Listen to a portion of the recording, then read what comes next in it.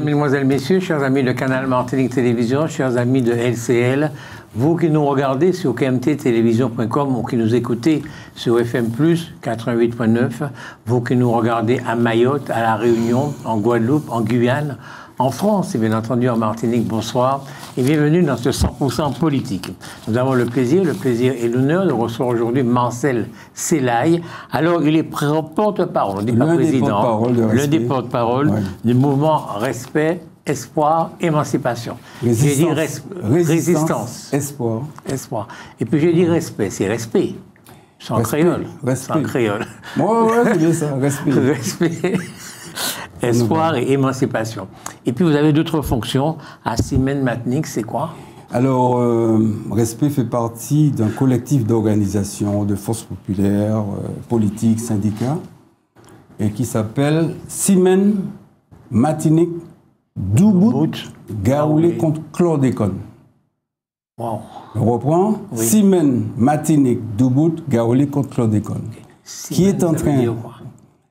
Alors voilà le sujet. Nous sommes en train de préparer une semaine de mobilisation au mois d'octobre concernant euh, la mobilisation qui est indispensable et nécessaire contre l'ordonnance de non-lieu du gouvernement vis-à-vis voilà. D'accord. Voilà le sujet. Donc c'est mon sujet. C'est le sujet. donc vous êtes venu parler de ça aujourd'hui Oui, nous sommes venus parler, je dis nous, parce que j'ai derrière moi le collectif, parler de cette semaine de mobilisation euh, au principal. En même temps, quand le roi parle, il dit nous, hein. il ne dit pas je. Donc, euh, vous pouvez dire nous. Le roi est mort. mais, vous, dites nous quand même. Le roi est mort. Nous sommes République. Laissez-moi vous dire. Imaginons que vous soyez chef d'entreprise. D'accord? Oui. Que vous employez 8000 personnes. Et que c'est beaucoup. Dans un pays où 8000 personnes, c'est vraiment beaucoup de monde. Beaucoup de familles, beaucoup de femmes, beaucoup d'enfants et beaucoup de monde. Et on vient vous dire, le produit que vous utilisez là, il est possible, c'est pas sûr, c'est pas du tout vérifié, mais il est possible qu'il soit nocif. Il est possible. Est-ce que le lendemain, vous licenciez pour 8000 salariés? Bon, c'est un, c'est un exercice fictif. Moi, je veux parler de la réalité. La réalité, c'est que l'État savait, dès, depuis 1970, les services de l'État savaient que ce produit était toxique. On mhm. connaissait son potentiel de dangerosité, de toxicité. Et c'est le même État qui savait a quand même donné, accordé des dérogations à des planteurs pour la survie de leur plantation. Voici le point de départ, c'est ça. Mhm. Donc, l'État fait un choix politique d'accorder des dérogations. Mhm. Donc, autrement dit, l'État accorde à ce moment-là plus d'importance à la survie économique de plantation qu'à la vie des entières. Voici notre point de départ. Ce que je vous pose là, c'est pas, c'est pas, c'est pas par hasard. Je veux dire que c'est vrai qu'à un certain moment, les chefs d'entreprise se sont retrouvés en face de cette problématique-là, qu'on le veuille ou non. Un produit qui est effectivement toxique, mais on n'a pas déterminé qu'il est mortel, qu'il est particulièrement dangereux. Aujourd'hui, le glyphosate connaît le même problème en Martinique, en France. Il a été euh, décrit comme un produit toxique et en même temps on l'a supprimé. Maintenant on reprend ça, le reprendre. Il y a des débats autour du glyphosate. Donc c'est un peu la même chose à l'époque autour du chlordécone. Alors si vous êtes un chef d'entreprise, même si vous êtes un gouvernement, est-ce que vous pouvez, prendre la décision facilement de, de licencier, de mettre, de mettre à bas l'économie? Parce que je vous rappelle que euh, cette économie-là était bien basée sur la banane à l'époque, l'économie de notre pays. Le problème, c'est que j'ai du mal à m'identifier à un chef d'entreprise, pas que le problème, les, les victimes, ma famille faisait partie des victimes.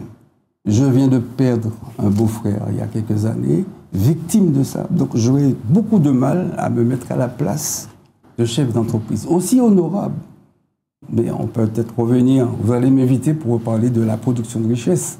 Est-ce qu'il n'y a qu'un seul moyen de produire de la richesse? Mais ça, c'est pour autre chose. Mais là, je suis. Je viens ici défendre la mémoire, pas que ça, la mémoire des victimes, la mémoire de victimes vivantes aussi. Voilà, du reste, je profite pour saluer tous les combattants qui se battent euh, ici, sur la planète et ailleurs, contre les, effets nocifs de ces pesticides, dont le chlordécone, en Guadeloupe comme en France et ici. Et donc, je voulais saluer et vous remercier en passant ce que vous m'avez empêché de faire. La brutalité je de votre pas, Je n'osais pas dire bonjour Vous m'avez dit bonjour, mais vous m'avez empêché de vous remercier.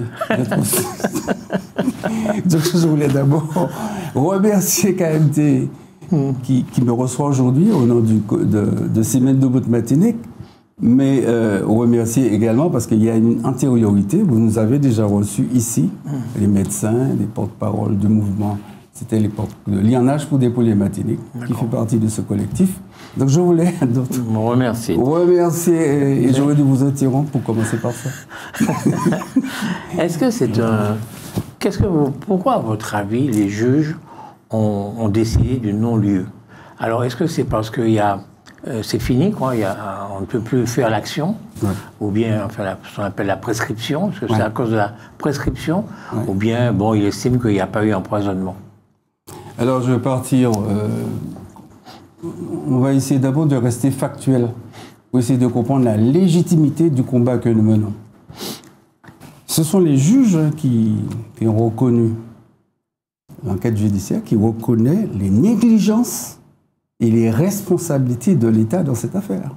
Voici le, point de départ, le fondement légitime de notre action, c'est la reconnaissance par le, tribunal, euh, lors de la dernière enquête, des négligences de l'État. Donc le procureur de Paris prend une décision non conforme, selon nous, non conforme aux conclusions de cette enquête, c'est un autre problème. Mais nous partons de ça, c'est de ça que nous partons. Factuellement, les négligences et les responsabilités de l'État sont reconnues dans ce dossier. Bon, le procureur, c'est le représentant de l'État dans un procès. Oui, de l'État de la société. la société, mais c'est un fonctionnaire de l'État. Oui, on n'est pas, libre. On n'est pas du. En tout cas, il n'est pas libre de sa parole. Il, il, pas représente l'État. Comment se fait-il qu'il va à l'encontre de ce qu'ont dit ses confrères finalement? Si vous dites qu'effectivement on est d'accord qu'il y a eu des négligences, pourquoi le procureur fait euh, un réquisitoire dans l'autre sens? Alors, si on a une conception bienveillante, neutre de l'État, on peut s'interroger dans ce sens-là. Mais bon, vous ne m'avez pas invité pour ça. Hein. je peux dire que l'État n'est pas neutre, l'appareil d'État n'est pas neutre dans cette affaire. On a un État, selon nous, hein, qui est au service des puissants. Il y a des liens consanguins entre les puissants et, l'État et les services de l'État. Et ça, c'est documenté, largement documenté. Il y a des familles bien connues dans ce pays qui ont leur, porte ouverte et leur bureau à l'Élysée. Mais ça, c'est pas moi qui ai inventé ça, c'est largement documenté. Donc, euh, par contre, ce qu'on peut reprocher à ce procureur, qui est normalement responsable de la défense des intérêts de la société, procureur, c'est son rôle. Les juges, les, avocats prennent la défense de leur... De euh, mais un procureur de la République s'est chargé en principe de la défense des intérêts de la société, de la société, et non pas des intérêts de l'État. Voilà, on est fondé à nous interroger non seulement, mais à combattre cette idée. pour nous, les conclusions, cette conclusion de non-lieu est contradictoire des éléments de responsabilité et de négligence reconnus par les enquêteurs. Donc il y a une grosse contradiction. Donc c'est factuellement. Tout ça est démontré. Et donc il y a un consensus euh, des avocats sur ça. Il y a un collectif, on va en parler plus tard. Donc voilà le fondement, la légitimité du combat que nous menons. Ok. Le point de départ. Le procureur est défenseur des intérêts de, la, société. De la société, des intérêts de la société. Oui, la société. Ok. Ouais. Monsieur Selaï, vous avez des cheveux blancs qui semblent attester que vous avez un certain âge. Oui. Vous regardez vers l'avenir ou vers le passé pour ce pays? Ne jamais regarder vers le passé pour construire l'avenir. Il faut s'appuyer dessus et non pas regarder derrière. Non, il faut s'appuyer. Il faut s'appuyer. Oui. D'accord. Euh, quand vous demandez réparation pour le chlordécone, vous venez de le dire, vous vous attaquez d'une part à l'État et d'autre part, vous ne l'avez pas dit planteur, mais au planteur. Oui ou non? C'est une action en justice contre les deux. Est-ce que les deux sont responsables? Je vais vous dire les, deux mamelles de notre revendication. C'est la justice. Nous réclamons justice et réparation. La justice, nous voulons la vérité dans cette affaire. Nous voulons la justice dans cette affaire. Nous voulons que soient condamnés les responsables de cette affaire. Oui. Il n'y aura pas de paix dans ce pays, et pas seulement ici, s'il n'y a pas un geste de justice prononcé dans ce pays. Et nous voulons, conséquemment à ce que nous devons évoquer, les dégâts sur les personnes, la dégradation des sols, la mise au chômage, l'absence de travail, les gens qui travaillaient, qui, avaient comme ressource l'exploitation des ressources naturelles, comme la mer, les, le marin pêcheur, nous voulons réparation de tout ça. C'est ça, deux mamelles, la justice et la réparation. Donc, concernant ce non-lieu qui a été posé, prononcé, une étape du combat consiste précisément à ce qu'on se constitue en partie civile pour réouvrir ce dossier pour que vous et moi, nous nous impliquons individuellement dans ce dossier. J'ai emmené du papier pour permettre ça. Pour que, je, signe quelque chose Non, non, pas du tout. Je vais vous aider, y compris votre collaboratrice et les gens de KMT, à remplir ce dossier. Je suis prêt à expliquer comment le faire. Parce que la mobilisation, on va, on va revenir, une partie de la mobilisation consiste à ce que la population, individuellement, s'implique réellement, porter plainte dans cette affaire, constituer partie civile dans cette affaire. Ça permettra non seulement d'ouvrir les dossiers et de permettre une large publicité autour de ce, de ce débat judiciaire. Que ça ne se passe pas dans un petit cabinet à droite, à gauche, avec... Euh, non, il faut que le peuple martiniquais, les peuples antillais, le peuple français soient au courant de comment euh, cette justice fonctionne. Et je vous dis, je, vous dis déjà, quelle que soit l'issue, là, en cas d'issue négative, nous irons en cassation. Nous allons épuiser tout ce qu'il y a comme démarche, tout ce qu'il y a comme ressources juridiques, pour, parce que nous sommes portés par un désir de justice puissant. Les avocats nous aident dans cette affaire. Beaucoup, on va en parler tout à l'heure. Donc il y a un désir puissant de justice et de dignité dans ce pays. Et c'est ce que nous voulons porter sur le plan national et international. Et vous allez nous aider. KMT va nous aider. J'en suis sûr, monsieur. ce que je veux vous dire, c'est que vous dites justice et, réparation. vous mettez l'un à côté de l'autre. En fait, c'est deux choses qui vont ensemble. Absolument. Vous obtiendrez réparation sur vos faits justice. Donc c'est la même chose. D'accord Donc, ce que vous attendez du gouvernement, et notamment des juges de, de l'État, et donc des juges, qu'ils condamnent les gens qui, se sont rendus responsables de ce que vous appelez un empoisonnement, qu'ils les condamnent et qu'ils les, les obligent à réparer. L'État doit prendre toute sa part. Attends, est-ce que, est que j'ai... L'État, non, l'État est responsable. Oui. Le premier responsable, c'est l'État. Donc l'État doit réparer, et est-ce que les gens qui se sont servis de, ces produits doivent également réparer? L'État a les moyens d'imposer aux gens qui ont produit, euh, qui ont répandu ça, etc., les moyens par le, simplement par le biais d'un mécanisme qui s'appelle euh, pollueur-payeur. Le mécanisme pollueur-payeur est un mécanisme de droit qui existe. Donc l'État peut se servir de ce mécanisme pour demander à ceux qui ont, pollué d'intervenir euh, pour payer. Sinon, ce sont vos impôts, monsieur. Non, non, non, non, non. non mais... Ce sont nos impôts qui vont servir à indemniser ceux qui nous ont empoisonnés. Oui, c'est ça. Oui. Et donc, il faut être clair. Oui, je suis. Il y a, les juges ont condamné. D'accord? Ils ont condamné l'État. Et en même temps, ils ont condamné ceux qui se sont servis du chlordécone. Ils ont condamné deux entités.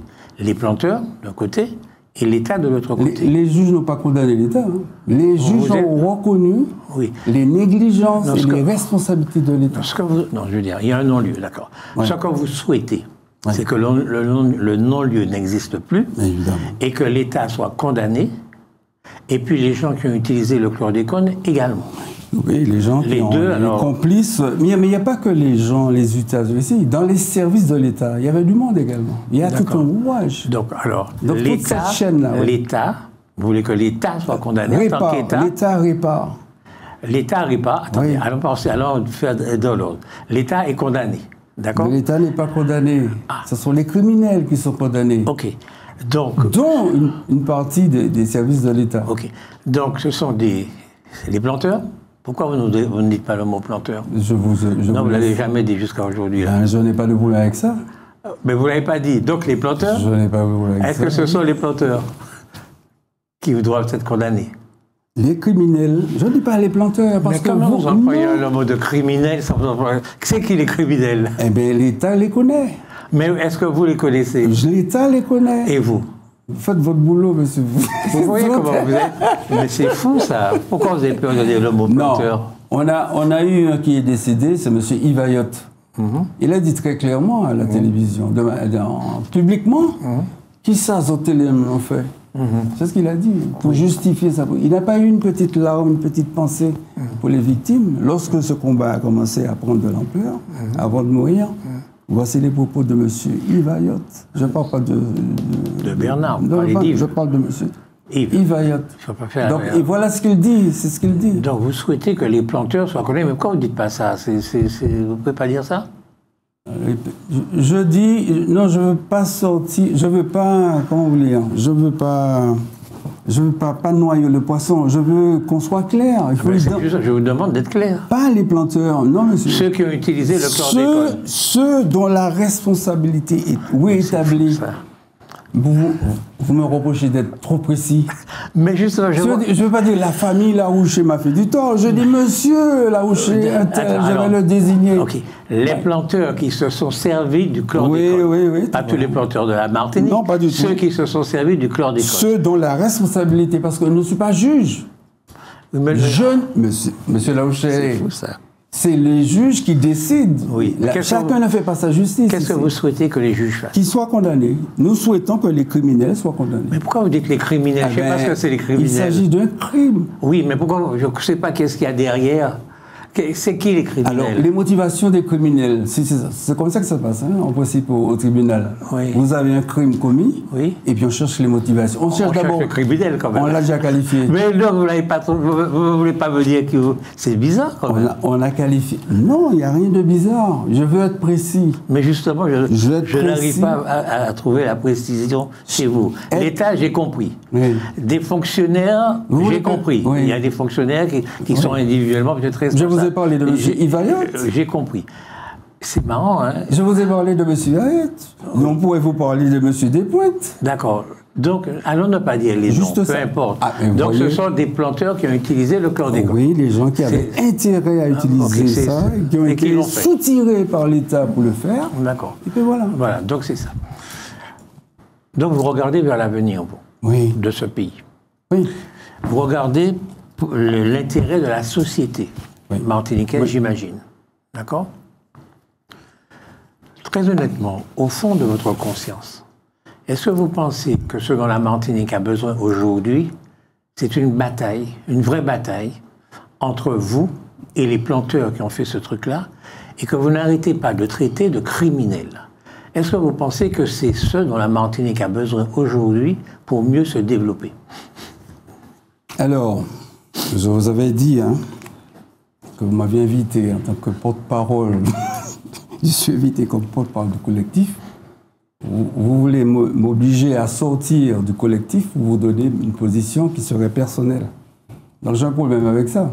J'ai un problème. Éthiquement, oui, j'ai un problème. Parce que vous me poussez à dire ma position et ma vision personnelle. Vous n'avez pas de liberté, alors vous n'êtes vous êtes, vous pas libre. Je suis juste respectueux d'une éthique relationnelle et démocratique. Alors vos camarades, qu'est-ce qu'ils pensent Qu'est-ce qu'ils pensent? Alors je vais vous dire, la composition, dans cette euh, semaine, dans, dans, ce collectif, dans ce collectif, il y a des forces culturelles, politique, syndicale, de toute obédience.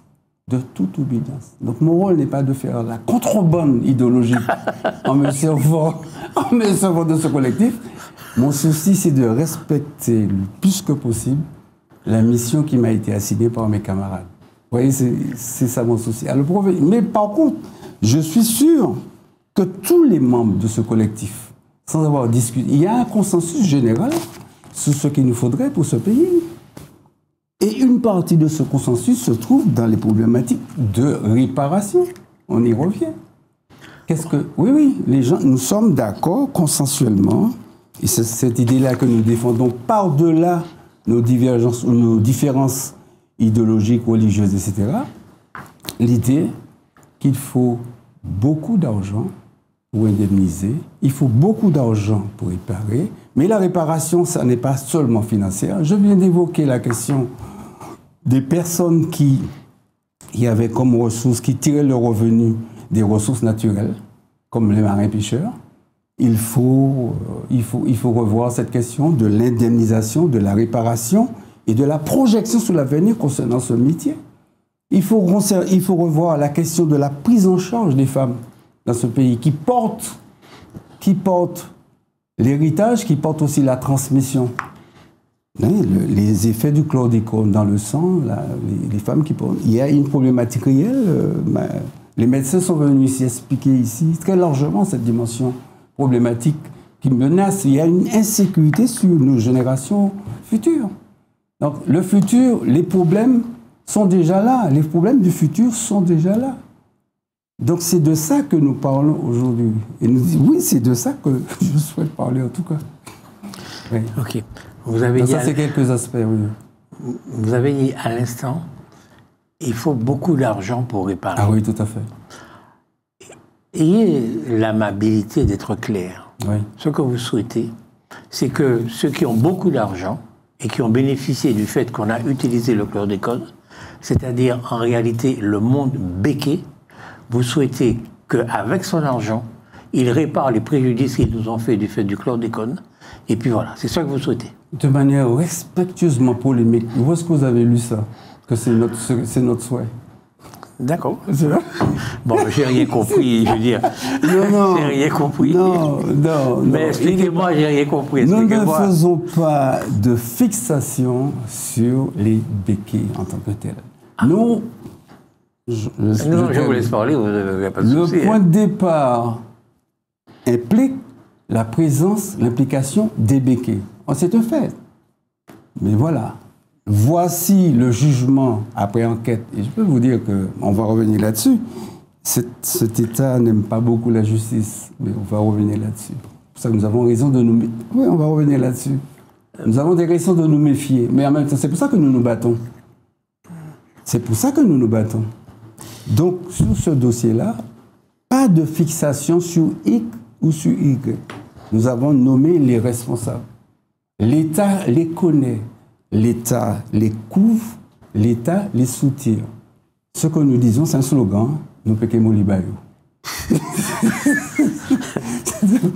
Donc, nous sommes très précis sur ce que nous voulons. Nous sommes très précis. Vous savez, je, on peut penser que le procureur de la République, vous l'avez dit tout à l'heure, eh bien, il a, il a la responsabilité de mieux être dans la société. D'accord?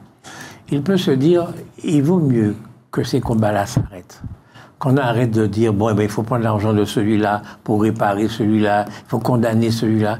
Peut-être que la société martiniquaise serait plus, serait mieux, serait en meilleure santé si justement elle allait vers, vers la paix, ne pas, ne pas être sans arrêt en train de demander aux uns de, réparer de ceci, de cela, et puis on, on avance ensemble. Essayez d'avancer ensemble plutôt que d'avancer l'un contre l'autre quand vous semblez vouloir le faire. Ben, le problème, c'est qu'il y, y, a deux problèmes.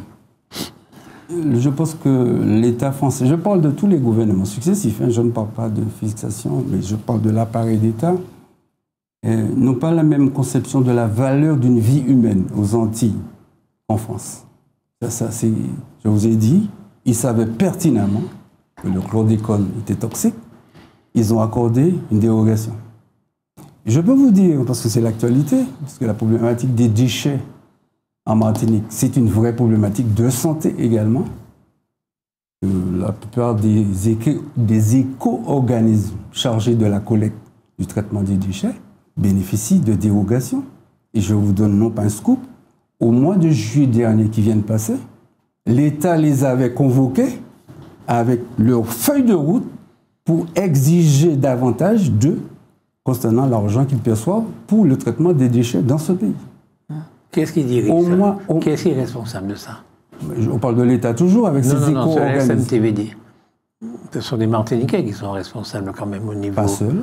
Oui, mais ils ont une grande responsabilité. Je ne veux pas évoquer l'aspect. Je veux juste rester sur cet aspect de déchets, de pollution, de santé. le volet judiciaire, tout le pays a connaître ça, tout le monde connaît les. Bref. Mais vous dites que c'est l'État qui est responsable, il n'y a pas que lui. non, je voulais vous dire que l'État n'a pas la même conception de la vie, la valeur d'une vie aux Antilles. Le point de départ, je suis factuel, en accordant les dérogations pour la survie économique de la banane au détriment de la vie, je dis on a une indication d'un rapport contradictoire avec l'État concernant la vie. Deuxièmement, je vous ai dit les déchets, on n'accorde pas de dérogation concernant euh, la gestion des affaires qui concernent la vie des citoyens. Et puis troisièmement, si l'État était en accord avec notre idée de la vie, l'importance de la vie aux Antilles, l'État aurait donné davantage de moyens à, par exemple, à phyto-victimes. L'État aurait mis plus de moyens dans ses plans chlordécone pour permettre de régler les problèmes. Or, c'est loin d'être le cas. L'État n'a pas encore mis ce qu'il faut. Je ne veux pas dire la proportion, peut dire la proportion, mais ce que l'État a mis en place, le comportement de l'État, le comportement de l'État vis-à-vis des infrastructures responsables de santé dans ce pays, je parle du CHUM et d'autres, on a une cohérence d'attitude chez l'État concernant la prise en charge de la santé, de la vie des Antillais. Tout ça, nous sommes cohérents. Donc ça ne peut que cultiver de la défiance vis-à-vis de cet État. Vous voyez, voici notre logique. Est-ce que nous avons raison? Est-ce que nous, on peut continuer à faire confiance à cet État pour avoir justice et réparation quand nous savons ce que fait concrètement l'État? Ne juge pas sur des, sur des supposés, mais sur des faits. Voilà. Voici notre argumentation. D'accord. Ok, vous venez de faire là un discours politique. Non, je vous Ce que vous, venez de faire là, c'est un discours politique. Dites-moi ce qui n'est pas politique. En tout cas, c'est un discours de politique politicienne, c'est vraiment de la politique. C'est-à-dire que, Non, mais vous êtes en train de dire bon, ben, qu'il faut aller contre les tapons. Que, le, le, CHUM soit sous-doté, c'est moi qui ai inventé ça? Non, je n'ai pas, pas porté de jugement de valeur. Que l'État accorde des dérogations aux éco-organismes dans ce pays dans le traitement des déchets? Vous allez trouver ça dans la presse patronale. Le, patronat éclairé en Martinique. Hein. Mhm. Le patronat éclairé en Martinique a une presse ici. Mhm. on, peut on peut lire ça. Ce que je viens de vous dire, mhm. on peut le lire. Oui. Vous voyez Donc il n'y a rien de. Donc c'est une bataille que vous menez contre l'État de toute façon. Nous voulons que l'État mette les moyens. D'accord. Parce que 92 millions, 92 millions d'euros pour les, la Guadeloupe et la Martinique, tous les maires tous les maires, je peux les citer, vous disent l'insuffisance pour traiter les problématiques de chlordécone dans leur santé, dans leur commune. D'accord. Alors, voyez, ce, que je, ce que je suis en train de dire, c'est que là, vous, vous êtes en train de, de, mettre en évidence les carences de l'État. Tout à fait. Donc c'est un discours politique. Mais vous l'avez. Il ne faut pas avoir honte de faire de la politique. Vous avez l'air comme si je vous ai Je, vous ai juré. Je vous, je Non, je vous ai dit dès le départ, l'État fait un choix politique. Hein. Oui. Et donc. Servir les planteurs sur, contre la. Et donc c'est un combat politique légitime que vous menez là. C'est-à-dire. Oui, mais ça se mène partout en France. Tous les, toutes les régions de France peuvent estimer que l'État n'a pas fait assez, n'a pas fait ça. Absolument. Mais ça n'a rien à voir avec la vengeance ça n'a rien à voir avec un procès, ça n'a rien à voir avec une condamnation. C'est un combat politique que doivent mener les politiques, doivent mener les députés, les sénateurs, les, les maires, tout le monde. C'est un combat politique. On ne pouvait pas aller voir l'État, dire bon, je vais me venger de, de vous, quoi. Donc donnez-moi de l'argent parce que je veux que vous me dédommagiez de ce que vous avez fait il y a 40 ou 50 ans. Vous voyez, c'est pas la même démarche quand même. Je vais vous dire, Nous voulons construire ce moyen précisément qui puisse imposer à l'État de réparer au, moins au même niveau des dégâts Mais pour ça, nous avons conscience de quel État que nous avons face de nous. C'est pour ça que la question de l'unité n'est pas une question accessoire. L'unité, ce n'est pas une option. Et nous avons pris là, parce que nous sommes conscients de, ce combat, de son niveau d'exigence en matière de mobilisation, nous sommes conscients de la puissance de l'adversaire que nous avons en face, qui est l'État. Nous avons créé 6 mètres de Martinique. Je vous ai dit avec le nombre de collectifs. Des collectifs existaient déjà, dont celui que vous connaissez des ouvriers agricoles, il y en a pour des et puis, et puis il y en a d'autres, pour construire un puissant mouvement pour réclamer cet argent. Sans cela, l'État va continuer sa petite politique de gestion à travers phyto-victimes, et etc. Les dysfonctionnements concernant le service du CHU consacré à la prise en charge de... Non, va continuer à dysfonctionner. Donc, notre rôle à nous, dans ce, au sein du collectif, où il y a des partis politiques, il y a le PPM, il y a le MIM, il y a Palima, il y a entre autres, il y a le GRS, enfin bref, dans ce mouvement, et c'est pour ça que nous avons choisi d'interpeller les 800 élus. Dimanche, nous avons choisi comme action d'interpeller, de leur remettre un courrier pour leur dire vu ça. sans un collectif, sans un lionnage entre la population, ces organisations et les élus que vous représentez, les institutions, il faut construire cette mobilisation pour imposer à l'État cette justice et cette réparation. Donc nous sommes conscients, nous sommes des gens lucides. Nous, nous voulons construire ce rapport de force. Parce que, on revient à la politique, la politique c'est rapport de force. Donc nous voulons faire basculer, donc nous voulons impliquer la population. C'est ce qu'on n'a pas encore suffisamment essayé dans ce pays. L'implication des gens, parce que rien ne sera plus puissant que l'unité du peuple martiniquais, en tout cas sur ce dossier. Donc voilà ce qui nous porte, qui nous porte, qui nous transporte cette idée d'unité, donc ça crée de la confiance aussi entre nous. Et confiance avec la population, il faut que la population voit qu'il y a des gens de toutes les obédiences qui s'organisent, qui se rencontrent. Nous avons fait appel à, l'Église également pour que ce vaste mouvement se crée.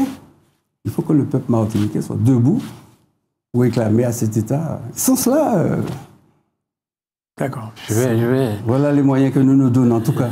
Je vais, je vais vous poser une question. Oui, oui. Et après, je vais dire un gros mot. Oui, je vais dire un gros mot chez après. Vous, chez vous. Je suis chez moi. en même temps, nous sommes chez beaucoup de gens là tout de suite. Oui, en effet. Bon, on va demander la permission. De la permission. Donc, euh, vous avez dit que les béquets sont puissants. Vous avez dit ça tout à l'heure. L'État. Non, les béquets, est-ce qu'ils sont puissants Oui, les béquets, il y a 10 familles béquets dans ce pays euh, qui, sont, qui composent avec le capital international. Qui sont puissants. Qui sont puissants, oui. Sont puissants. Oui, tout à fait. Voilà, c'est un, fait, c'est un fait. Oui, oui, non, mais il n'y a pas de souci. Ah, la, la, question, la réponse est oui, il y a des béquets puissants. Alors, je vous pose une question. Et c'est là le gros mot. Est-ce que vous pouvez imaginer que les béquets soient à côté de vous pour obtenir de l'État ce que vous réclamez. Est-ce que vous pouvez imaginer ça? Est-ce que vous voulez une information? Oui. Les, les béquets se sont constitués partie civile également. Banamante. Uh-huh. Quelle est votre appréciation concernant? Non, c'est-à-dire que vous êtes, c'est vous qui êtes en pleine contradiction. Parce que vous êtes en train de faire une action en justice contre des gens dont vous me dites qu'ils se sont portés partie civile. C'est curieux quand même. Ah Donc, ça veut dire que si les béquets sont avec vous dans ce combat-là, c'est mieux que s'ils sont, contre. Ils sont pas avec. Ils sont pas avec vous. Non. Nous avons, c'est ça ma question. Est-ce que vous pouvez imaginer le combat que vous souhaitez mener aujourd'hui pour que les, pour que le gouvernement prenne mieux en compte tous les dégâts causés par le chlordécone? Si les béquets étaient à vos côtés, plutôt que vous les mettiez exactement contre vous, est-ce que ça n'irait pas plus vite? Non. Euh, je reviens à vous posez des questions personnelles. Nous n'avons pas une vision homogène de, ce qui est convenu d'appeler la caste béquet. Il y a des petits béquets, il y a des petits planteurs. Euh, je, connais des, j'ai connu dans mon enfance des béquets qui ne percevaient pas le SMIC. J'ai connu des béquets sur une habitation qui étaient considérés comme moins que rien par la caste, les grands béquets. Donc vous voyez, il y a une hétérogénéité dans cette famille de béquets. Et puis il y a des puissants. Il y en a qui cherchent à sortir du bois en prenant des, positions euh, humanitaires, oui, je connais. Il y en a qui sortent du bois sur des positions culturelles. C'est une réalité. Donc ce, qu'on nomme, il est injuste à mon avis pour euh, parler rigoureusement des béquets, de, parler d'eux euh, comme ça, sans, distinction, de, pas de race, sans distinction de classe, à l'intérieur même de ce groupe. Donc il y a des petits, des grands, des gros, etc. Je vous parle des gros, je vous parle de ceux qui rentrent à l'Élysée.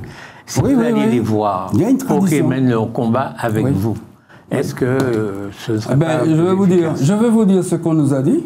Ils s'en foutent de savoir, entre guillemets, ils s'en foutent. Qui, on est qui, bah, ceux qui ont porté plainte en même temps que nous. Mhm.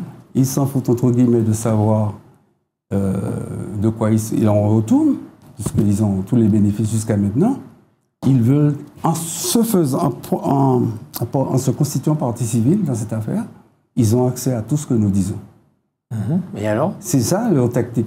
Une tactique. Ah, ils se sont portés partie civile pour, vous espionner.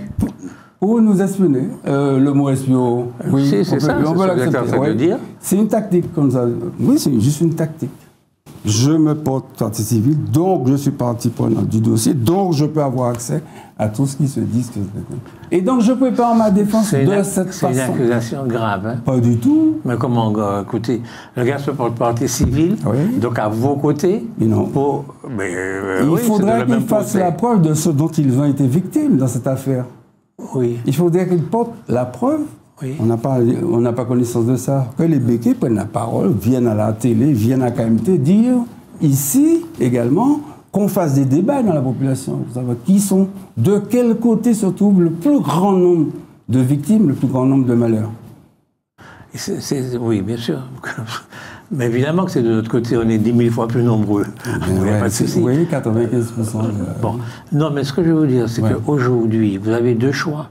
Ou bien vous vous opposez au monde béquet, parce que vous le voulez ou non, quand vous demandez réparation, quand vous demandez condamnation, c'est le monde béquet que vous voulez condamner et, et vous voulez prendre l'argent pour vous réparer.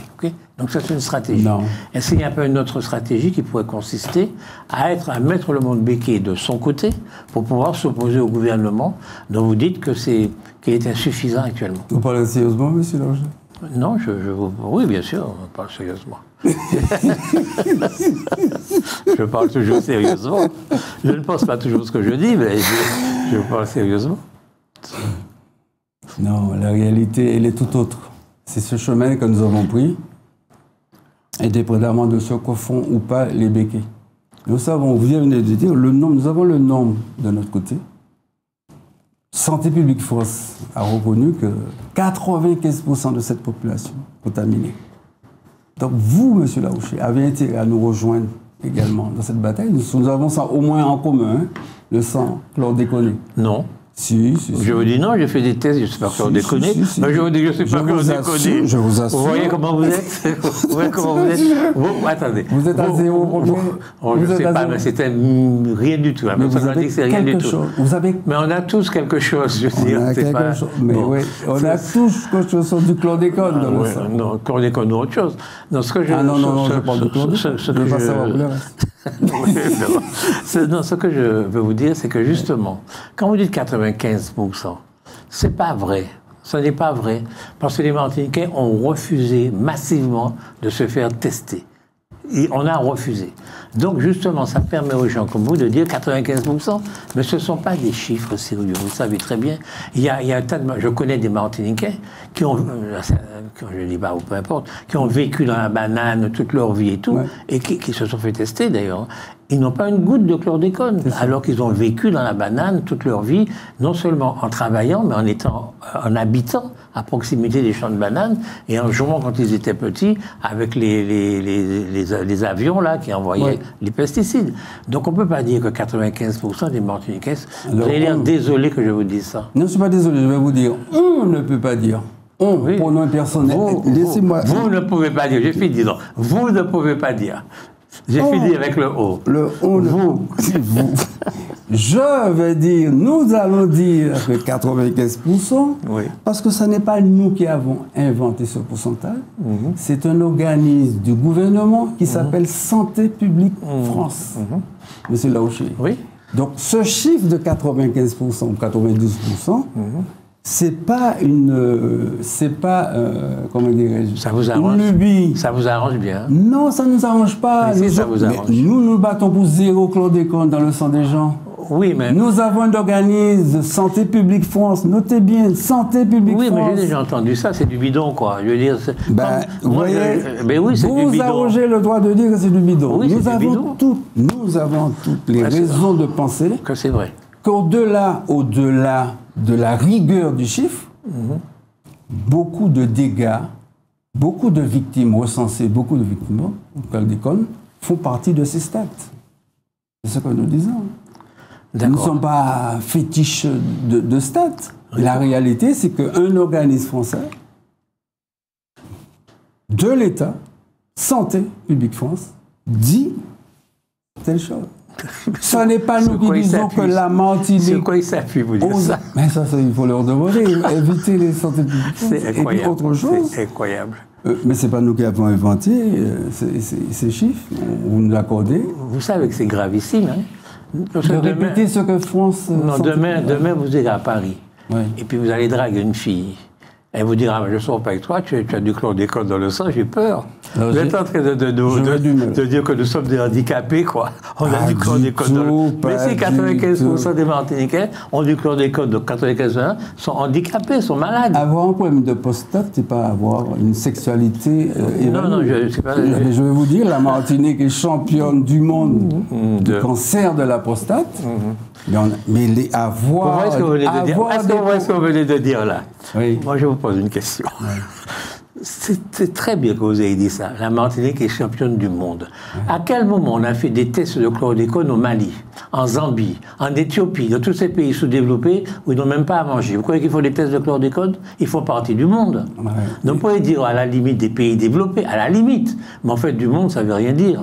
Ah, comment vous savez les chiffres de, de la Chine, les chiffres du Japon, les chiffres de... Je sais pas moi, c'est pas sérieux de parler comme ça. Oui, en effet, c'est pas sérieux lorsque, lorsque c'est dans sa tête que ça vient suis d'accord avec vous. Il faut il faut il faut pas banaliser, il faut pas prendre au sérieux les gens qui prennent les ondits, etc. Voilà. Mais ce que nous disons, c'est pas nous qui avons inventé ça. Mais vous avez non. Mais vous avez un sens critique quand même.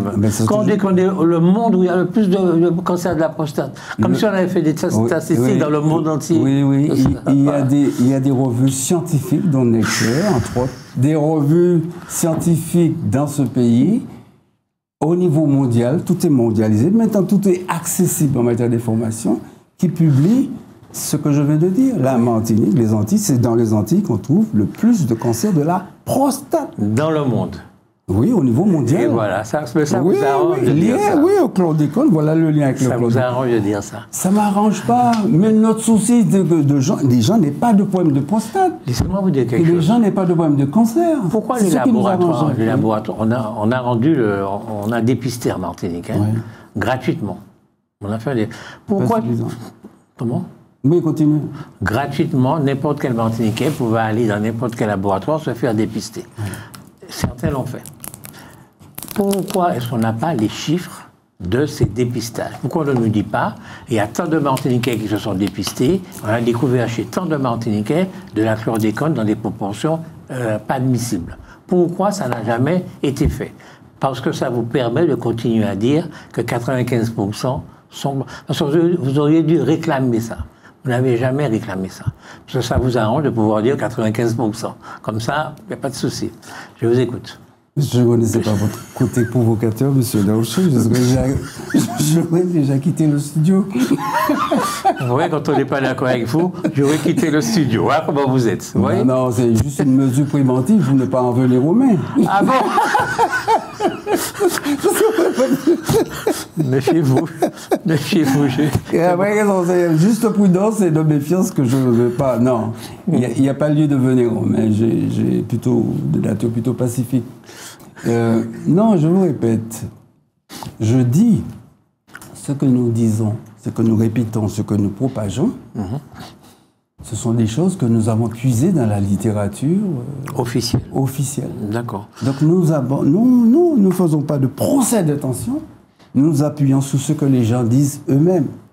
Et concernant ça, voilà, l'État reconnaît les problématiques de code Nous disons qu'il n'y a pas assez d'argent. Assez d'argent. Vous, il y a un organisme phytosanitaire, nous dit ça dysfonctionne. Les avocats perçoivent plus d'argent, on, on, a des preuves de ça, en, intentant un procès, que, que d'attendre sur le fonds d'indemnisation. C'est rikiki ce qu'on propose aux victimes de ce pays. Et les, les, camarades du comité et l'avocat qui, soutient ses camarades peuvent venir ici témoigner de, de la de la, comment du ridicule des montants. Et, parfois, le, ils n'ont pas, depuis la mise en place de ces structures, ils n'ont pas une centaine de dossiers. Ils n'ont pas une centaine de dossiers parmi tout ça de victimes reconnues. non, il y a un problème. Donc, pour revenir, l'État n'est pas sincère. Pas un procès d'intention, juste ces actes, pas assez d'argent, des freins. Non, non, c'est comme ça qu'on mesure. Ça, mais on a des raisons de nous méfier. Non, mais je, vous, je veux dire, ma question c'est de savoir, est-ce que vous n'obtiendriez pas plus facilement satisfaction à ce niveau-là, au niveau que vous venez de dire, de demander à l'État de mettre plus de moyens pour lutter contre un, contre un fléau national, C'est ce que nous faisons. Oui, mais est-ce que vous, mais oui, mais vous demandez réparation et justice, tribunal en même temps. Est-ce que c'est pas, pas contradictoire Mais si. Est-ce que ça, ça, nous sommes des pas un handicap nous, en fait. nous, sommes des êtres humains. La, souffrance des gens, même si les gens qui ne sont pas atteints, c'est une souffrance morale. D'abord, nous sommes des êtres humains. Ce qui nous distingue des animaux, c'est avoir ce rapport à l'universel, ce rapport à, l'au-delà, au religieux, et cette dimension morale qui nous transcende. Nous avons, des, nous avons une dignité. Au-delà de la couleur de votre peau, de vos cheveux, de votre territoire, ce sont des êtres humains sur la planète. En tout cas, c'est comme ça que je perçois les choses. Donc en Martinique, au-delà de la couleur de peau, des, appartenances politiques religieuses, ce qui nous relie, c'est d'abord d'être des êtres humains, de chair et de sang, avec des visions, avec des espoirs, avec des espérances. Beaucoup d'espoir et d'espérance, beaucoup de malheur. Le chlordécone a créé beaucoup de souffrances dans les familles. Les gens, non seulement qui sont handicapés socialement par la mécoeur, etc., par les, les prises en charge médicales, l'argent dépensé, mais dans leur propre dignité. Et la question de la dignité, ce n'est pas une question, euh, nous qui revenons de, l'esclavage, nos ancêtres en tout cas, c'est un marqueur politique, social euh, important dans ce pays. Donc il y a un enjeu de dignité. Et rien que ça, ça mérite le combat que nous menons. Donc le problème, donc, ça n'est pas qu'un enjeu de dignité, c'est beaucoup. Et puis il y a beaucoup socialement. Nous sommes dans une société qui est organisée autour de l'argent, des échanges, des prestations, des biens et des services. Les gens veulent avoir accès à ça pour euh, s'épanouir, pour leur bien-être. C'est juste ça, cette dimension matérielle des choses. C'est de ça qu'il s'agit. De quoi Oui Pardon. Non, pardon. non, non, il n'y a, pas, a pas de quoi. Ce que je suis en train de vous dire, c'est que vous observez, comme ils en sont au quatrième plan, Claude oui, le quatrième, plan. plan, plan, Bon, comment vous avez dit plan, plan, plan, Oui, plan, plan. slogan, plan, plan, plan, euh, rataplan, etc. Donc nous en sommes au quatrième plan. Imaginons que dans ce quatrième plan, l'État veuille donner à la Guadeloupe 90 euh, millions et à la Martinique... Je vous ai dit, 92 millions à partager. C'est ce que je suis en train de vous dire. Ah, pardon. Euh, imaginons qu'il donne 92, millions à la Guadeloupe, 92 millions à la Martinique. Imaginons ça. Et vous dites, bon, c'est pas suffisant. Vous faites des calculs, il nous en faut plus. On veut 300 millions. D'accord? Vous demandez 300 millions. Est-ce que ce combat-là ne serait pas plus facile à gagner que de dire nous voulons non seulement les 300 millions, mais tout ce que vous venez de dire là à l'instant, vous voulez que nous voulons que soit réparée notre douleur morale, notre douleur morale, notre dignité. Or, réparer la dignité et réparer la douleur morale, D'ailleurs, on ne sait pas très bien ce que ça veut dire, mais c'est en milliards. c'est en milliards. Et en déstructuration de la société, parce que vous réclamez en même temps que soient punis tous les gens qui ont utilisé le chlordécone. C'est-à-dire que vous ne pouvez pas facilement gagner ce combat-là, le combat, le deuxième combat-là. Et donc, vous ne pouvez pas gagner non plus le premier, parce que c'est le deuxième qui vous intéresse. Donc, je, dis que vous manquez de, ce sera moins, vous serez moins efficace. C'est-à-dire que pour obtenir les 300 millions que vous voulez obtenir, vous ne les obtiendrez pas parce qu'ils sont parasités quelque part par la réclamation de justice et de réparation. Alors, ce qu'il nous faut dire que j'ai insisté sur cette dimension morale des choses parce que dans ce pays, la colère ne s'est pas éteinte. Nous fréquentons des gens, nous faisons des réunions, nous fréquentons des, gens dans les syndicats, dans les associations, nous faisons des réunions publiques. Ce qui est attesté, c'est la douleur, la souffrance morale des gens qui s'expriment. Donc il y a une question de la dignité. Les gens n'ont pas rompu avec cette idée de leur restaurer leur dignité dans cette affaire. Donc, et ça compte. Ça compte. Mais ça ne s'évalue pas en milliards. Les gens qui vont au tribunal, il y a eu des assises récemment. Les gens s'apprêtaient même que les, les, les, parents proches perdus ne euh, vont pas revenir. Ce n'est pas l'indemnisation de tribunal qui va. Ce qui les soulage, c'est que le. C'est que L'assassin soit condamné. C'est ce que les gens sont incapables, dans l'incapacité de faire leur deuil, tant que l'assassin n'est pas retrouvé ou tant que l'assassin est dans le déni, il ne reconnaît pas ses crimes. Donc, ah, Je vais dire au tribunal, c'est comme ça que ça se passe. Non, il y a cette dimension, cette dimension des choses. Et ça ne se chiffre pas en milliards. C'est pas monétisable. Mais vous mettez ça en même temps que la réparation. Oui, nous disons qu'il y a un enjeu de cette dignité, oui. de dignité, et du reste, c'est sous cette base de la dignité que beaucoup de beaucoup de partis politiques, de mouvements sociaux qui se revendiquent euh, euh, s'appuie sur le passé de lutte des esclaves pour dire ouais, il faut continuer ce combat. Donc il y a cette dimension, cette dimension-là. Et puis l'autre dimension, oui, qu'il s'agit de réparer. Mais la réparation, question très importante. Il y a les dégâts que, l'on connaît, que l'État a reconnus, puisqu'il met de l'argent.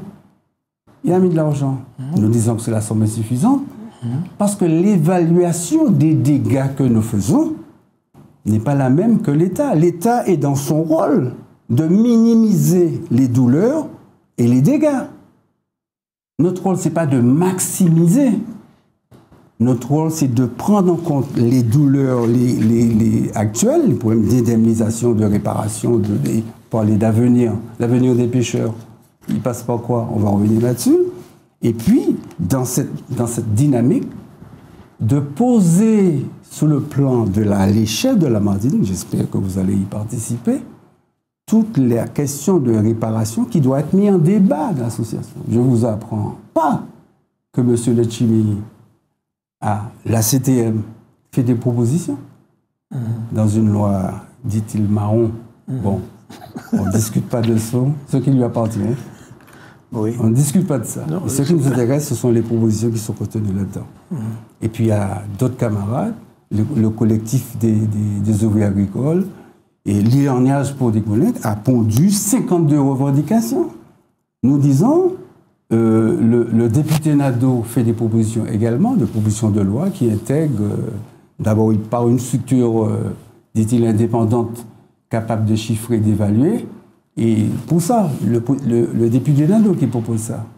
Eh bien, collectivement, ce que nous disons, il faut que ça fasse l'objet d'un débat public pour rendre crédible au maximum le chiffrage des dégâts et de l'indemnisation, des réparations, et puis que la population se sente concernée par ce débat-là. Il ne faut pas que ce débat passe au-dessus de la tête de M. Larouché. Il faut que M. Larouché soit impliqué à juste titre dans, oui, dans cette question de l'évaluation des dégâts? Donc c'est encore à venir. Donc on a des choses très concrètement à reprocher à l'État l'insuffisance des sommes par rapport aux dégâts actuellement constatés. Et puis comme on est loin du compte, parce que ce chemin, cette bataille de l'évaluation n'est pas achevée, nous disons, voilà ce qu'il faut encore faire pour que nous puissions arriver à, à parler d'une seule voix dans ce pays de ce qu'il nous faudrait pour la réparation. Et les réparations ne concernent pas uniquement de l'argent. Les sols sont dégradés. Il y a des initiatives qui sont prises, il y a des initiatives en cours, il y a des jeunes qui s'impliquent, qui pondent, qui créent, qui, ont, qui créent des semences. Il y a une agro, euh, euh, agroécologie naissante, embryonnaire. Il faut encourager tout ça.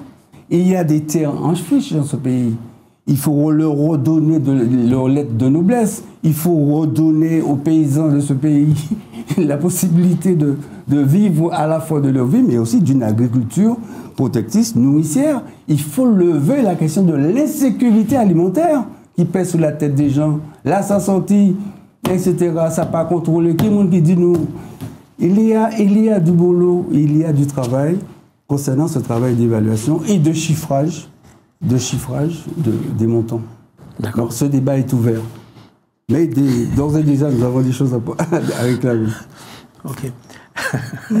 si, euh, si vous aviez fait ce travail que vous venez de dire là, depuis le temps que vous parlez de ça, du chlordécone et tout ça, qu'il y a des associations, qu'il y a des manifestations, qu'il y a des réunions, vous auriez pu avoir le temps de chiffrer un petit peu l'argent qu'il faut pour réparer, pour, euh, pour faire en sorte que les gens qui ont été touchés à ça puissent être euh, mieux, être mieux, mieux pris en compte. Si vous aviez fait ça et que vous étiez arrivé avec un chiffre, que vous avez dit à l'État, voilà, c'est ce qu'il nous faut pour ça. Ça, c'est une première démarche. Mais la démarche qui consiste à dire, voilà, il y a un papa, une maman, sept enfants et trois petits-enfants. D'accord? Eh bien, c'est le papa qui a été touché. Mais ça, donc il lui faut autant d'argent. Il faut le dédommager. Mais la maman n'a pas été touchée, mais il y a une douleur morale extraordinaire. Donc il faut dédommager la maman aussi. Quant aux enfants, ils n'ont pas de chlordécone, mais quand même de savoir que leur père a du chlordécone, d'abord, leur fierté en prend un coup. Ils, trouvent ça indigne. Et donc, il faut les réparer aussi. Et les petits-enfants aussi, il faut les réparer. Comment voulez-vous que l'État euh, accepte ça? Vous filez la. C'est exactement ce que vous êtes en train de vous faire. Vous filez la, métaphore familiale. Elle est intéressante, mais comme on parle de politique, oui. elle est impertinente. Je vais vous dire pourquoi, parce que le lieu le Je suis impertinent. Non, la C'est un joli mot. Hein. Non, c'est la métaphore qui est pertinente. Parce que le lieu le plus antidémocratique, c'est le lieu familial. Mhm. Les enfants ne choisissent pas leurs parents. Oui. Vous voyez? Oui, alors. C'est pas de ça qu'il s'agit. Ah, mais vous me parlez de douleur morale, de dignité. Oui, oui, mais oui. Les parents, euh, voilà, mais, des exemples. Lorsqu'il s'agit de revendiquer, etc., etc., mhm. les enfants ne sont pas au même niveau que leurs parents. Mais c'est vous qui les mettez au même niveau. Vous parlez de dignité et de réparation morale. Eh bien, voilà, je, vous, les mets au même niveau. L'impertinence du schéma, de la métaphore, c'est là Là, on revient à la société. Alors, Donc c'est vous qui êtes pertinent, parce que c'est ça votre schéma. Ah, je ne parle pas de vous en tant que monsieur Larouche, de la métaphore. Je dis ah bon, d'accord. Non, non, je parle de critique abdominale. Non, non, je, nous refusons ça. Non, elle est, elle est impertinente. Et parce qu'il faut, on parle de politique. Hmm. On parle de politique, donc implication de la population, de règles démocratiques, on parle de transparence, c'est de ça qu'on parle. Hmm. Donc l'évaluation, cela obéir à une démarche démocratique. La population, à travers ses associations, monsieur le président de la CTM. Est-ce que vous réfléchissez beaucoup? Parce qu'il serait interdit d'en faire autant? je vous demande si vous réfléchissez beaucoup. mais c'est un devoir. L'homme est un animal pensant. Et, vous, et, pardon, de filer la métaphore religieuse, nous sommes l'animal le plus doté par le Seigneur. Oui, c'est vrai. voilà. Donc il serait criminel de ne pas faire bon usage. Mais vous réfléchissez beaucoup. Mais je crois que. Vous êtes un intellectuel. Non, pas du tout. J'étais un éducateur spécialisé. Donc vous êtes un intellectuel. Vous êtes un éducateur spécialisé. Donc vous êtes là même pour éduquer les gens. Et en plus, euh, vous réfléchissez beaucoup. Mais le maçon est un intellectuel. Comment le maçon, ici, est un... c'est son cerveau qui commande ses bras et, son... et, sa... démarche. D'accord. Je ne vais pas rentrer dans ce débat. Non, non, non. Je, je profite pour vous dire, il y a une division du travail. Oui. Il y a une division qui sollicite davantage l'intellect dans quelques métiers, mm. mais personne n'est dépossédé Tout de le monde réfléchit.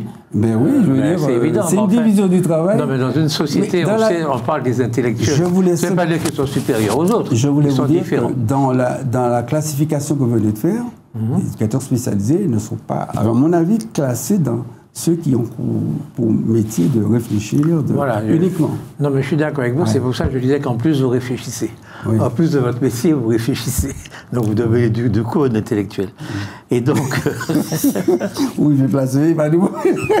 Vous placez ma Mais non, mais ce, ce que, il faut oublier ce que, je, ce que je voulais dire. Ça va, ça va revenir. Ah, non, c'est au niveau de.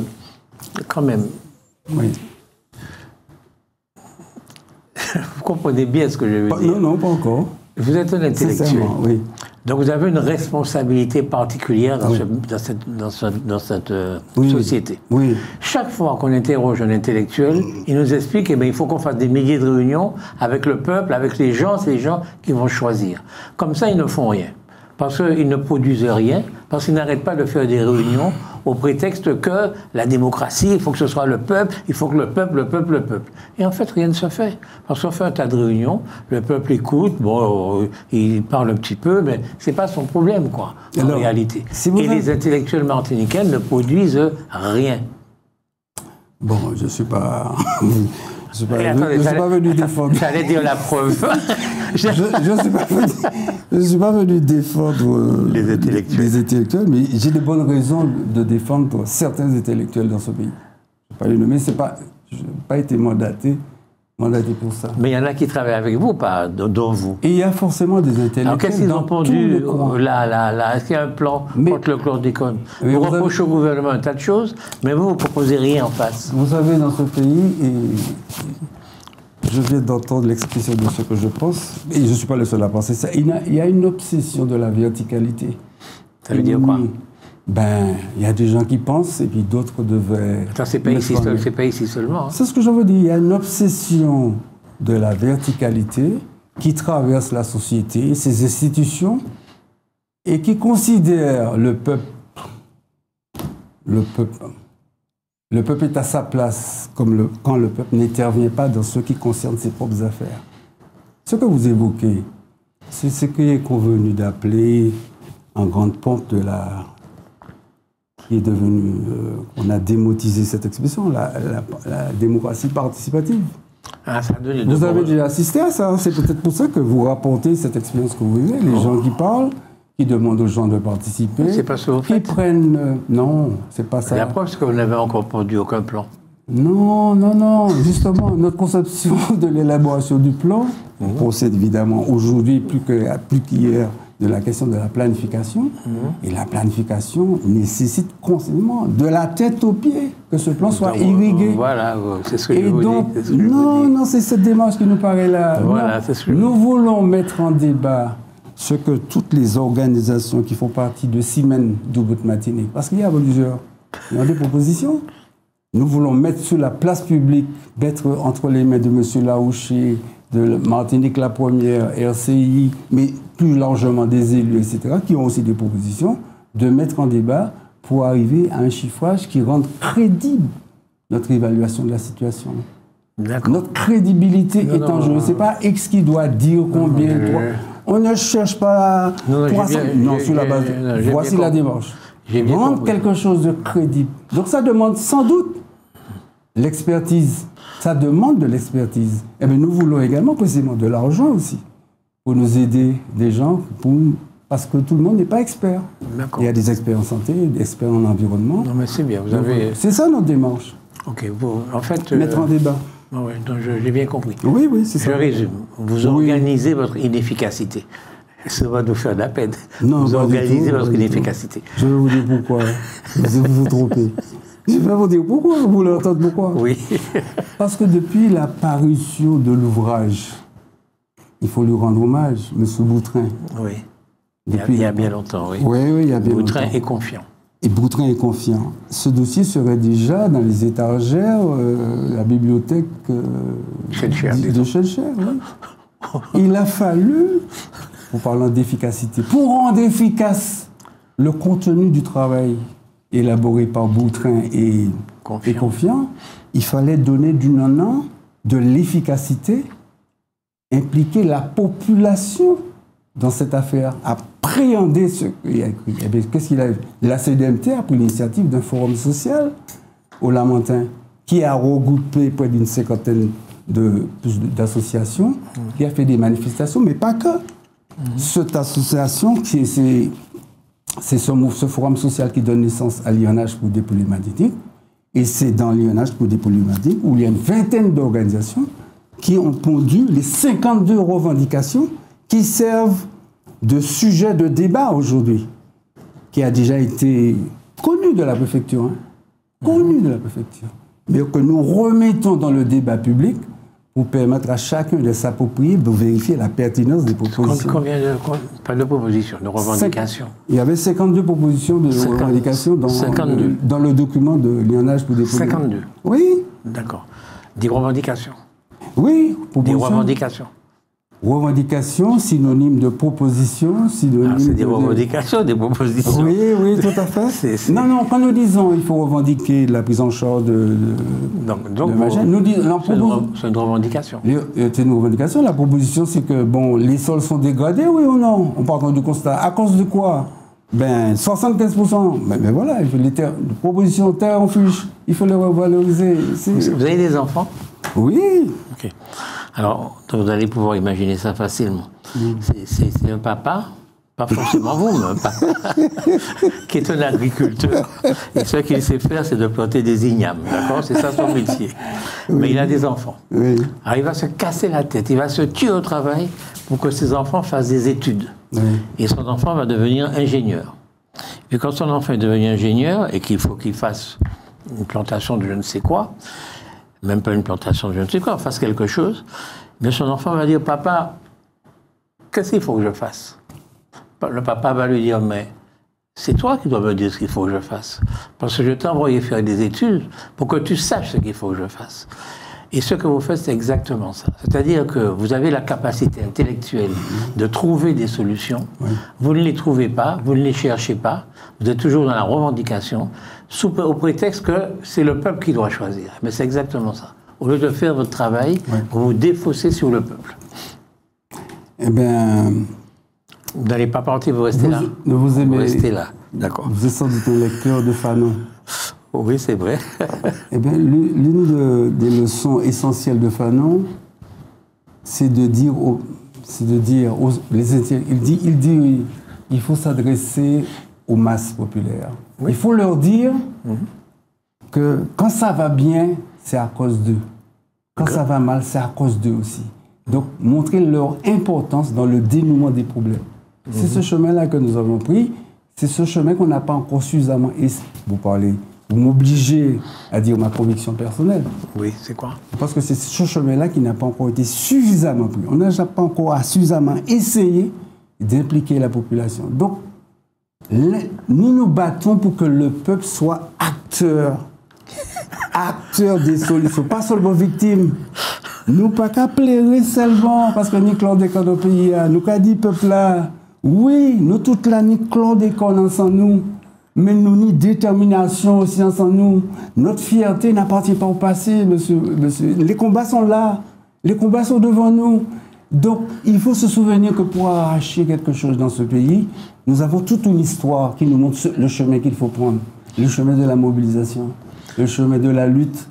Ça, c'est toujours d'actualité. Et c'est ce qui se fait dans le monde pour contester le système, y compris Monsanto, comme vous connaissez, les pesticides, le glyphosate. Oui, il n'y a pas suffisamment la coordination mondiale des peuples pour imposer leur... C'est ce que nous battons pour ça ici. Évidemment, avec le soutien, alors voici cette dimension internationale de notre travail. Mm-hmm. Nous cherchons le soutien non seulement de, des, camarades, du reste, il pourrait y avoir une coordination de notre manifestation. Bon, c'est encore en interrogation, nous n'avons pas de certitude.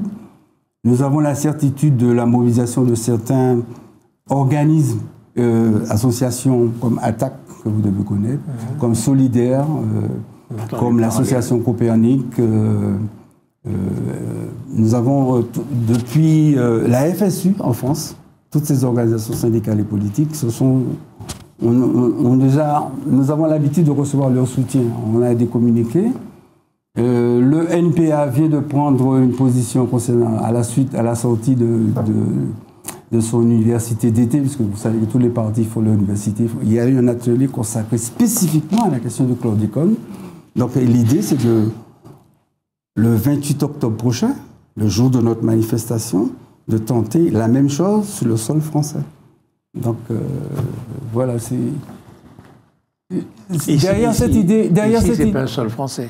Hein? Ici, c'est pas un sol français. Le... Ah, vous êtes trahi là. Non, non, non, non, Vous êtes trahi. Il y a un sol français en Europe et puis un sol français dans les Caraïbes. D'accord, c'est pas le même. Hein. C'est ça que je voulais dire. Vous voyez, on parlait de, on parle de, récemment, on parlait de biodiversité. La, bio, la biodiversité dite française ne se trouve pas sur le sol européen. D'accord. Euh, dans ses possessions. Bon, je fais la parenthèse, puisqu'il s'agit de Marcel Selaï et non pas le, rapporteur du porte-parole de Cibel. Est-ce qu'il y a quelque chose que vous souhaitez dire et que je ne vous ai pas donné l'occasion de dire? Non, je voulais. Le 28, c'est quel jour? Je voulais, je voulais, je veux juste. Nous sommes en train de conclure.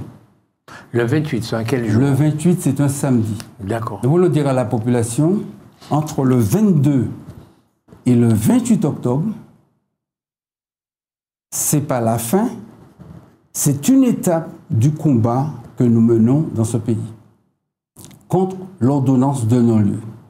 Donc il y aura des manifestations depuis le dimanche. On va ouvrir sur la savane de Fort-de-France avec la collaboration de la ville un village le lundi, il y aura des débats sur l'agriculture, le mardi, le mercredi. Le lundi 22 alors Oui, à partir du. Je, je vais envoyer ça, et puis, hmm. et puis comme on sera encore reçu sur ça, l'actualité ça va se préciser, vous aurez plaisir. J'aurai plaisir à revenir ici, mais ça peut être notre camarade. entre le 22 et le 28, Donc, mais le, point d'orgue de ce mouvement, c'est la manifestation, le grand déboulé que nous voulons faire dans les rues de Fort-de-France. Et ça va se faire avec, en associant avec des élus.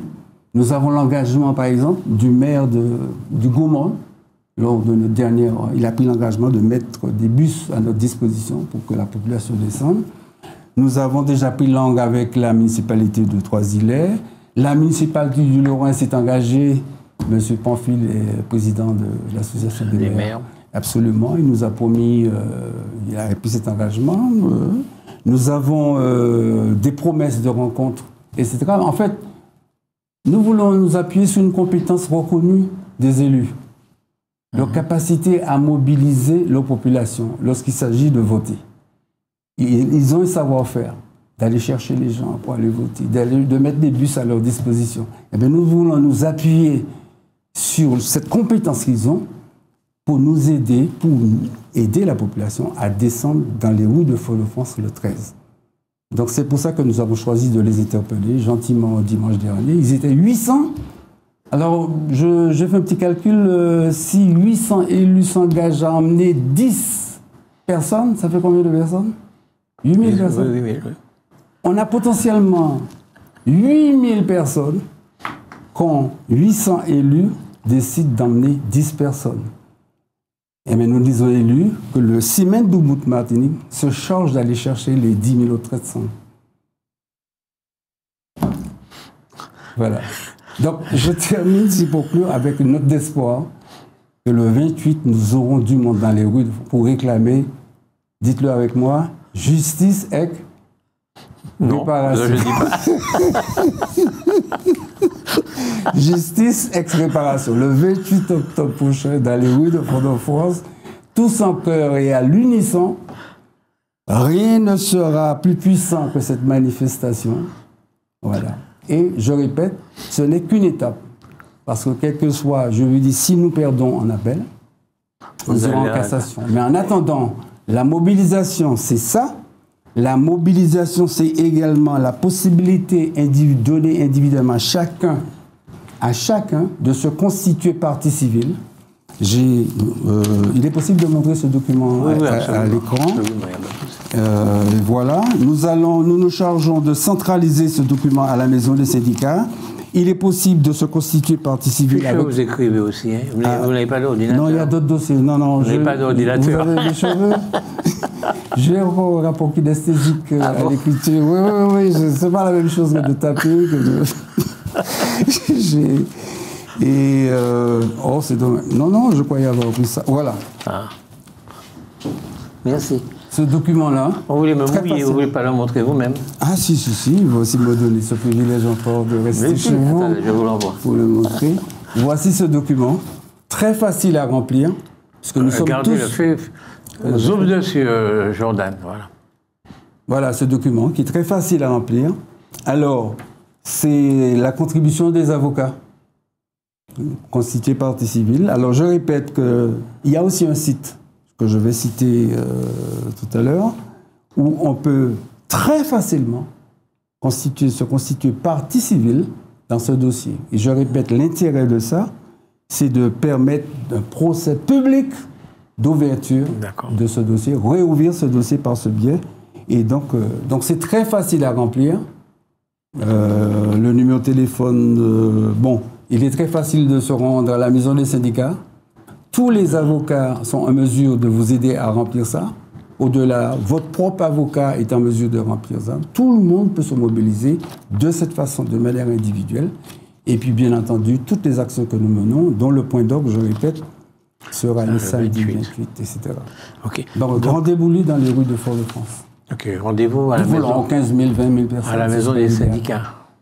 Le rendez-vous? Oui. Enfin, le, le semaine d'Oumout. Non, le 28, c'est. Le 28 dans les rues de Fort-de-France le point, de départ, euh, on va affiner cette, cette, cette organisation au fur et à mesure. Et vous allez nous inviter à revenir. Non, il n'y a pas de souci. À affiner ça. Mais je vous regarde et, je suis triste, quoi, parce que. Ne soyez pas triste. Si, si, je vous assure. parce que vous avez peur. Vous me rendez triste. Vous avez peur Non, vous me rendez triste. J'ai de la peine. Parce que je, je, peux vous le dire, je sais pas, oui, oui. pour vous, hein, vous êtes un adulte quand même, donc je vous le dis c'est parce qu'il y, a, y a un moment, il me semble, c'était en 2009, il y a eu tellement de gens dans les rues de la Martine, de Fort-de-France, partout, un tas, un tas, un tas de gens. Et ça n'a pas fait avancer le problème de Iota. Alors, quand vous me dites qu'il y aura 8000 personnes, je, me dis, bon, bon. 8000 personnes par rapport à 2009. Combien de temps qu'il nous reste, cette émission euh, Il vous reste 5 minutes. C'est fini. Alors, puisque vous faites allusion à 2009, mm. autrement dit, nous savons faire. Nous mm. savons donc les raisons, je vous pose la question, est-ce que vous pensez que les raisons qui ont conduit le peuple martiniquais à descendre et à faire durer une grève de 43 jours, est-ce que ces raisons-là ne sont plus d'actualité, selon vous? Oui, elles sont d'actualité, justement, ça a Donc il y a encore une nécessité de Mais ce qui manque, ce qui nous manque, c'est une meilleure organisation d'orientation. Je vais vous dire, ceux qui se sont accordés à roger le doigt de mettre un terme à ce mouvement, ce ne sont pas eux, ce ne sont pas les mêmes qui ont créé ce mouvement. Mhm. Les élites, pour ne pas les nommer, qui ont décidé, qui ont décrété la fin de la grève, etc., ce ne sont pas ceux qui ont, ce ne sont pas les organisateurs, le K5F qui a été créé, cet outil-là. Donc vous me donnez l'occasion de rappeler que l'outil K5F, il faudrait le dépoussiérer, le réactualiser, l'enrichir des échecs. Je suis d'accord avec vous des échecs dans l'orientation du combat qui a été mené, et que ce bilan n'est pas achevé. Il y a des ouvrages dessus. Il y a des ouvrages. Le bilan pas achevé. Mais lorsqu'on prend une défaite, lorsqu'on prend une défaite, il y a toujours quelque chose qui est de l'ordre de la confiance et de l'expérience. Et ça, on ne peut pas évaluer ça. Donc l'idée de justice, de réparation, de, etc., ces idées-là ne sont pas mortes dans ce pays le capitalisme n'a pas encore tout colonisé. ah, vous voyez Donc il y a un esprit de résistance dans ce pays qui parfois se manifeste dans, dans des actions que les gens ne comprennent pas. Mais il faut les remettre dans un cadre de compréhension qui nous permette d'avancer. Et, et, surtout, euh, ce, ce, dont on a besoin, c'est d'efficacité. Et rien ne se fera, rien avant. Il faut suspendre provisoirement les divisions c'est ce que, c'est ce que fait euh, Simone Et c'est quand les divisions sont suspendues, pour exemple, qu'il se passe quelque chose dans le pays, monsieur Laouchi. Vous voyez quoi? Voilà, vous avez retrouvé votre sourire. Et ça me plaît assez pour conclure. Et voilà. Donc l'efficacité, personne ne se sauve. Personne ne se sauve individuellement. Ça n'est pas démontré. Et, donc, euh, si c'est ça que vous vouliez dire, non, c'est vrai, nous nous battons. Est-ce qu'il y a des partis politiques qui se joignent à ce mouvement Monsieur Larouche, vous voulez le nom Je vous ai parlé des grands, des gros. Non, redites je, je, tous les partis et syndicats qui se... Il y a je lis le tout. Oui. La SOPAMA, l'atelier Cherchura, l'Association de défense des usagers de l'eau, Bâtir le pays Martinique, la CDMT, la CFDT, le CNCP, Mouvement APAL, Monsieur, il y a des, des machins individuels, hein, des, personnalités. Oui, l'avocat Constant Raphaël, un militant, le connaît, la CSTM et des associations de femmes, Culture Égalité, mhm. euh, l'Union des femmes, bien entendu. Il y a la Fédération socialiste de Martinique, Force ouvrière, la FSU, Greenpeace, Groupe Révolution socialiste, IEMO, les Insoumis, Conscience Martinique, Lamentin la Relève, Lyonnage pour dépolluer, qui est déjà le regroupement de plusieurs associations, le RDM, le RDM Respect, chercheurs dynamique et solidaire, santé, environnement sans dérogation, et, et l'UNSA. Vous avez là 35 35 organisations. Lancez-le comme ça. Merci. Alors, je répète que c'est une démarche inclusive, comme on dit aujourd'hui. Cette semaine de bout matinique est, est, ouverte. On reçoit encore d'autres adhésions, d'autres machines. Donc, on attend. Monsieur Laroucher peut s'inscrire à titre individuel euh, ça fait dix fois que vous me demandez ça. Mais parce qu'on a besoin de monde. Ah bon On a besoin de monde. Et, plus on sera nombreux. On a déjà le nom, mais il nous manque de la coordination de ce nom. Donc on a potentiellement du monde. Merci beaucoup. C'est moi, moi qui remercie KMT de nous recevoir une nouvelle fois ici euh, à la suite. Euh, nous, avons eu le, plaisir de converser devant vous avec Marcel Selaï. Marcel Selaï est venu nous présenter cette manifestation qui va se dérouler du 22 au 28 octobre, qui s'appelle Gaoulé contre chlordécone, c'est ça? Et c'est organisé par Simen Matinique Dubout. Le collectif. Et, c'est vrai que c'est un combat, un combat qu'il faut mener, qui nous concerne même si euh, il concerne tout le monde, hein, même si on a été touché par le chlordécone, et même si on n'est pas forcément complètement d'accord avec tout, la façon dont le combat est mené, ce sont des gens qui y mettent de la bonne volonté, ce sont des gens qui se battent pour une cause, une cause juste. Donc rendez-vous du 22 au 28 octobre. Le 28 octobre, c'est un samedi, et le rendez-vous est pris dans les rues de Fort-de-France. Au revoir, M. Selaï. Au, au revoir, Au revoir, M. Laroche. Merci de votre accueil.